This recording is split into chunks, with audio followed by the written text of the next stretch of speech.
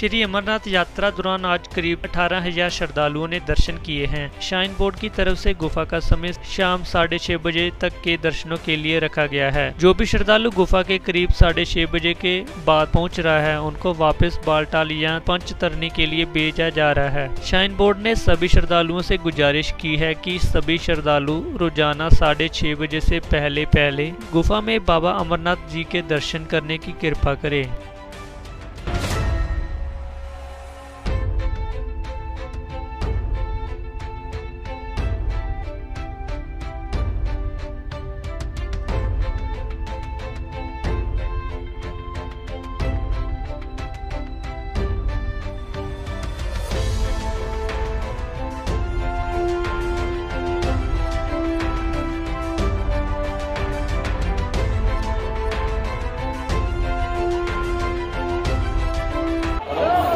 पहलगाम और पंचतारनी की ओर पहलगाम और बालटाल की ओर जाता हुआ रश पूरा पूरा रश जा रहा है।